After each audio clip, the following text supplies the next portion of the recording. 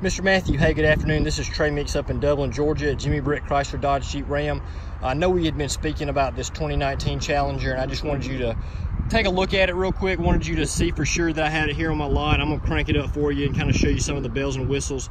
Um, but I, like I said, the most, the biggest thing was I did want you to see that I actually had it, um, and that it wasn't just an internet car; it's a real life car. So I'm uh, gonna crank it up a little bit, just kind of show you some of the inside bells and whistles, and uh, then we'll kind of take another look around the outside, look at the trunk and all that. Um, so as we get in, one of the first things you'll notice, it's gonna be power windows, power doors, power locks. Um, it is a black top package. Um, I know you already know it's brand new, so it is a 2019. I'm gonna drop this key right here. It's a push to start, so I'm just gonna drop it in our little uh, cup holder, and uh, then I'll go ahead and start it up. Let you listen to it rumble a little bit. As you can see, it literally has 14 miles on it. So it is absolutely brand new. Uh, like I said, it's an SXT blacktop package. So um, you're gonna have a nice little display screen right there. Backup camera, of course, as soon as we put it in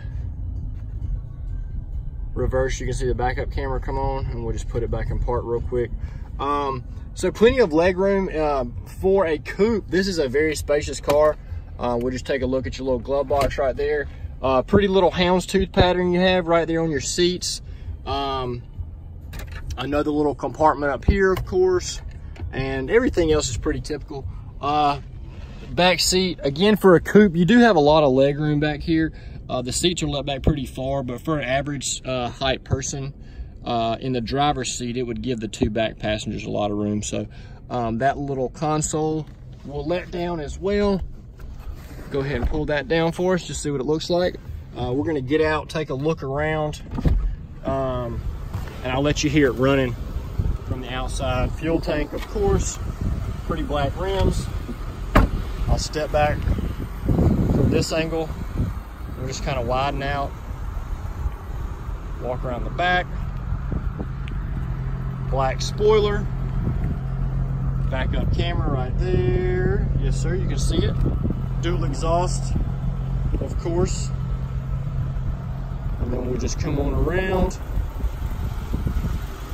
You can hear it purring right there. And just a little shot from the passenger seat. You do have an extra, extra charger right there, if you notice. Power doors again on this side. So if you have any questions, definitely give me a shout. I'm getting you some numbers worked up on it right now with cash out the door and delivery to Florida. Thank you, sir.